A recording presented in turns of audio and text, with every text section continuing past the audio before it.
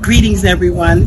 Her Excellency Ambassador Erieka Bennett, Head of Mission of the Diaspora Africa Forum, and Dr. Tony Luck. We are on our way to pick up Mother Viola Ford Fletcher and Uncle Red Hughes Ellis, 107-year-old, and her 100-year-old brother to spend a week with us in Ghana. We are so delighted. What do you think, Ambassador? I am just so excited. I'm on top of the moon. Wait to see her and say, Akwaba, welcome to Ghana. And Ambassador Bennett is trying to steal her, I'm going on the record, trying to steal her from me to be the only granddaughter. So we're going to negotiate. I'm going to be the favorite. I just have to say it. I know I'm going to be the favorite. So thank you for joining our journey, our Black Truth members and people who are online. And uh, we're going to keep you posted every second of the way. Hey, what's up everybody? Thank you for checking me out. This is Ekow Simpson. If this is your first time of checking out my videos, please subscribe to my YouTube channel. Um, I'm trying to create a platform for all of us to share and to connect. So if this is your first time of checking out my videos, kindly subscribe to my YouTube channel. I've had a lot of connections with the diaspora, but let me tell you how it started. Way back when I was a kid, we used to go to the Cape Coast Castle because I am from Cape Coast, which is the first basic school in Ghana called Philip Quaque Boy. So if you've been to the castle, you realize that during the tour, the tour guide will tell you about Philip Quaque. So he's the first black man to be sent to England to learn uh, missionary work. So when he came back, he set up a school at the castle, and then later he got a land and then they built the uh, school there. So I'm I'm fortunate to have being enrolled in the first school, you know, basic school in Ghana. So during that time, we would walk to the castle, and then that's that's where I got to realize there was an African diaspora.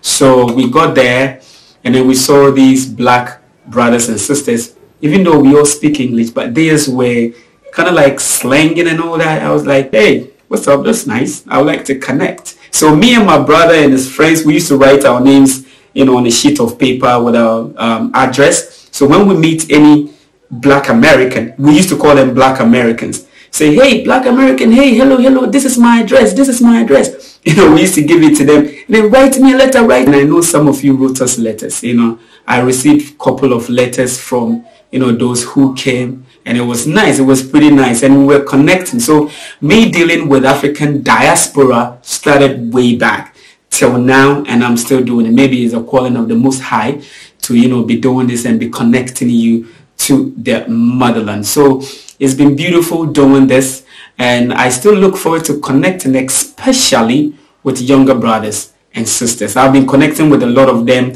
those who are there and those who've made a trip to the motherland and we've been connecting. It's been, it's been beautiful always. A few days ago, I chanced on an article um, in the, you know, most of the Ghanaian uh, medium talking about the Tulsa race massacre. So I was like, what is, what is that? So I Googled and I realized that in 1921 thereabout, uh, there was a massive race massacre on uh, the black community in Tulsa, Oklahoma.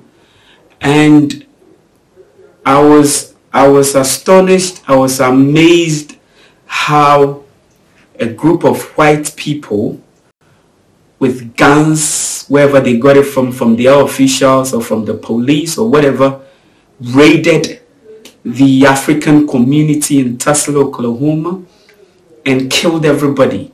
It, it's, it's, it's, it's just mind-blowing that I can't even agree to accept that such thing happened to our brothers and sisters. I love, I love the fact that each and every day I get to learn something new about what happened during slavery. Yeah, enough of what we've learned here, but I'm happy when I get to hear from your side of the story what really went down. So I googled and I read and I realized that no, our brothers and sisters have been have have have gone through a lot of hell. And I think this is the best time for us to connect I mean, nobody is asking anybody to leave, but we are asking us, yes, us, to just connect.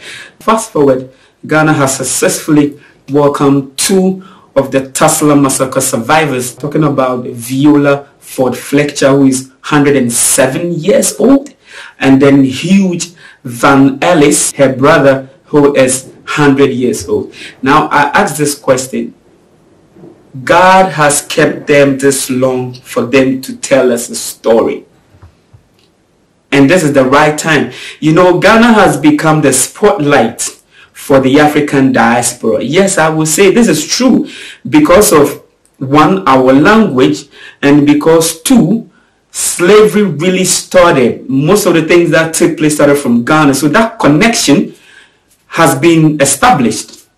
And I believe it's, it's, it's God's calling on some of us to keep connecting us together. So uh, they arrived in Ghana, beautiful ceremony organized for them at the airport. I wasn't privy to this information, so I couldn't go and get you um, beautiful shots for your viewing. So I went onto the internet and then I got some videos which doesn't belong to me. So I'm making a disclaimer here. The next videos that I'm going to show doesn't belong to me. It belongs to others that I took for fair use so that I could give you my subscribers the information and everything that is happening here in Ghana. So go ahead. Let's go to the next video and experience whatever happened. Thank you very much for checking me out. This is to inform you of some of the events that is happening here in the motherland.